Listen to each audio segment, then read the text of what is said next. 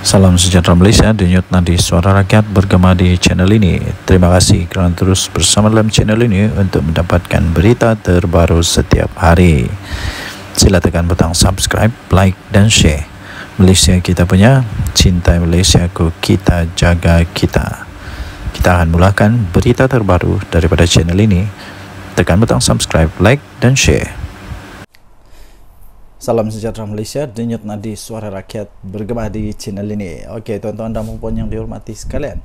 Sepanjang beberapa hari ini, perkara yang amat amat amat hangat di seluruh berita ataupun semua penganalisis kah, pengulas politik kah, ialah tentang di mana adanya konon-konon, konon-konon lah, ura-ura lah, konon-konon lah cerita kabar angin lah yang mengatakan MCA dan MIC keluar daripada Barisan Nasional.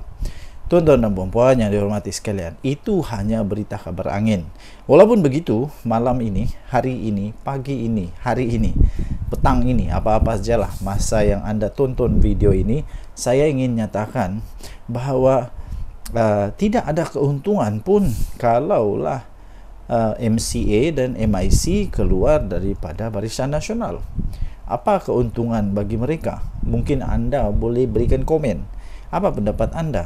Sekiranya MCA keluar daripada Barisan Nasional, adakah adakah yang sanggup untuk menerima mereka sebagai satu uh, gabungan politik, rakan politik di dalam gabungan?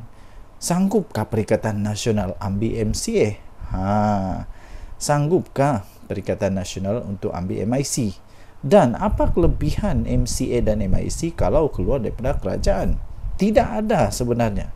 Jadi tidak ada apa-apa gunanya untuk Barisan Nasional uh, kerugian kah, keuntungan kah kalau uh, MCA dan MIC keluar daripada Barisan Nasional. Kerugian tidak pada uh, AMNO tidak juga kepada kerajaan ini kerana MIC dan MCA mereka hanya ada berapa kerusi dalam parlimen. Tidak pun sampai lima kerusi dalam parlimen. Hanya berapa saja MIC berapa kerusi dalam parlimen. Tidak akan menggugat apa-apa. Tidak akan menjadikan uh, kerajaan yang sekarang ada ini tumbang kah? apalagi kalau tukar kerajaan tidak akan. Tidak mungkin akan berlaku walaupun nah sebenarnya secara faktanya pun andai kata barisan nasional semua keluar daripada kerajaan pun kerajaan madani ini tidak akan tumbang pun tetap akan kekal menjadi kerajaan sekurang-kurangnya sampai pada PRU 16 nanti. Ha, tuan-tuan dan puan yang dihormati sekalian. Jika begitu, apa sebenarnya sebab untuk Barisan Nasional Uh, kehilangan MCA dan MIC tidak ada apa-apa sebab pun lainlah uh, lainlah kalau kita cakap tentang UMNO mungkin mereka kecewa tentang Najib Razak mungkin mereka kecewa tentang banyak perkara-perkara yang mungkin saja. Tapi untuk MIC dan MCA tidak ada apa-apa isu pun yang mereka boleh timbulkan. Ha, mereka malah perlu bersyukur berterima kasih kepada kerajaan ini kerana walaupun jumlah mereka yang sedikit macam tu pun tapi tetap dianggap amat penting oleh kerajaan Madani ini. Ha. Jadi tuan-tuan dan puan yang dihormati sekalian, pada pendapat saya, pada pendapat ini pendapat saja ya. Semua orang ada pendapat masing-masing. Anda boleh bantah, Anda boleh bangkang pendapat yang saya utarakan ini terpulang kepada Anda. Sekiranya MIC dan MCA nak keluar kalau pendapat saya. UMNO tak payah nak tegeh-hege pun. UMNO ah, tak payah nak tegeh-hege pun untuk pujuk uh, ah, MCA atau MIC ni. Biar pergi kat mereka lah. Mereka nak pergi bergabung dengan uh, PAS kah? Nak bergabung dengan uh, bersatu kah terpulang lah mau buat pergabungan baru. Kalau sekarang ini ada perikatan nasional mungkin selepas ini ada perikatan paling nasional. Ha tak kisahlah. Ha, yang penting pada pendapat saya kalau mereka nak keluar biar pergi kat depa. Biar pergi kat depa ha, mungkin mereka suka untuk jadi pembangkang dipersilakan. Tapi setakat ini semua itu hanya kabar angin. Dan kalau mereka keluar pun tiada apa-apa pun. Kerosakan kepada kerajaan ini. Ha, jadi apa pendapat anda? sila tinggalkan komen anda. Sekiranya MCA dan MIC mau keluar apa pendapat anda? Betulkah mereka mau keluar? Ha, mungkin anda ada sumber yang lain yang mengatakan mereka mau keluar. Hmm, tapi pada pendapat saya tidak akanlah mereka keluar untuk setakat ini kerana tidak ada apa-apa keuntungan pun. Ha, dan saya fikir UMNO tidak akan tergugat pun. UMNO tidak pun rasa kecil hati kalau mereka keluar. Tinggalkan komen. Tekan butang subscribe denyut nadi suara rakyat bergema di channel ini. Bye bye Salam sejahtera Malaysia, denyut nadi suara rakyat bergema di channel ini. Okey, tuan-tuan dan puan yang dihormati sekalian.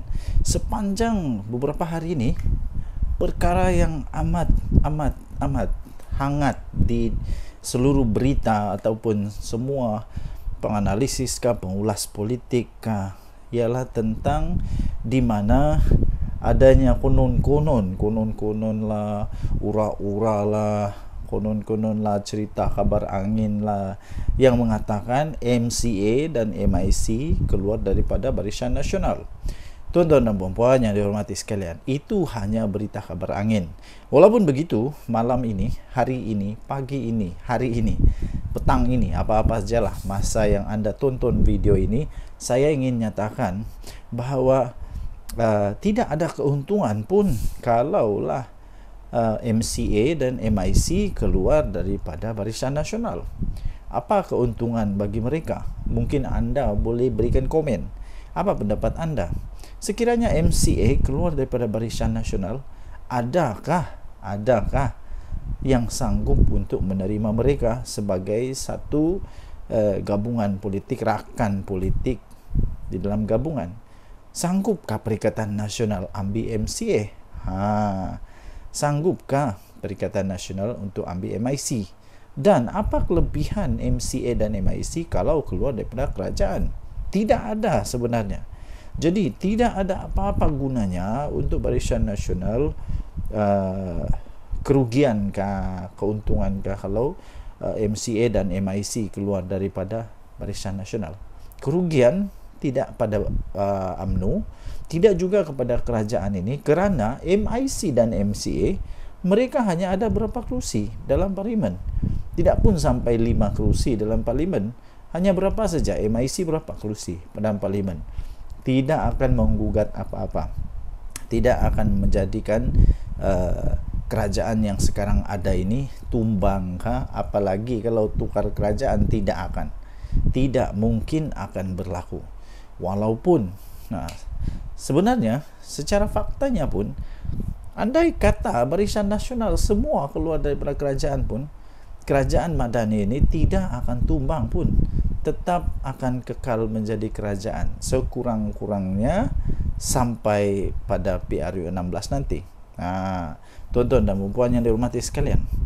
Jika begitu, apa sebenarnya sebab untuk Barisan Nasional uh, kehilangan MCA dan MIC tidak ada apa-apa sebab pun lainlah uh, lainlah kalau kita cakap tentang UMNO mungkin mereka kecewa tentang Najib Razak mungkin mereka kecewa tentang banyak perkara-perkara yang mungkin saja.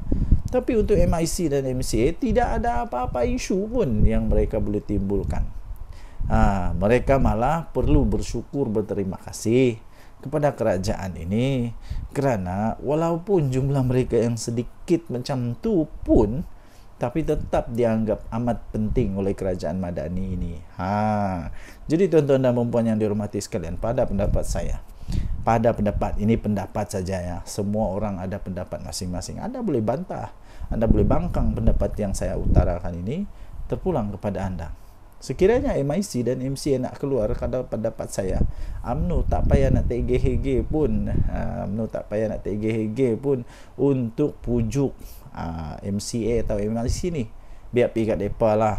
Mereka nak pergi bergabung dengan uh, PAS nak bergabung dengan uh, bersatu kah terpulang lah. Mau buat pergabungan baru. Kalau sekarang ini ada perikatan nasional. Mungkin selepas ini ada perikatan paling nasional. Ha tak kisahlah ha, yang penting pada pendapat saya kalau mereka nak keluar biar pergi kat depa biar pergi kat depa ha, mungkin mereka suka untuk jadi pembangkang dipersilakan Tapi setakat ini semua itu hanya kabar angin. Dan kalau mereka keluar pun tiada apa-apa pun kerosakan kepada kerajaan ini. Ha, jadi apa pendapat anda? Sila tinggalkan komen anda. Sekiranya MCA dan MIC mau keluar, apa pendapat anda? Betulkah mereka mau keluar? Ha, mungkin anda ada sumber yang lain yang mengatakan mereka mau keluar. Hmm, tapi pada pendapat saya tidak akanlah mereka keluar untuk setakat ini kerana tidak ada apa-apa keuntungan pun. Ha, dan saya fikir UMNO tidak akan tergugat pun UMNO tidak pun rasa kecil hati kalau mereka keluar tinggalkan komen tekan butang subscribe denyut nadi suara rakyat bergema di channel ini bye bye